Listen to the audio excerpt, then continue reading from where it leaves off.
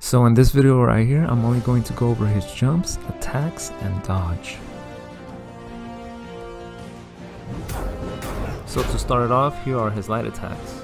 Pretty good move if you want him to get off you. Slams him uh, quite a bit. So for the second one here, are his charge attack. There are two types. That one, if you hold it and charge it all the way, you get that with the rock move. And this one, you just press it and hold it for a little bit and you get another different slash. But the one that has more range is the rock one, which I would recommend if you're trying to space people out. The other one would be kind of like a fast, quick charge.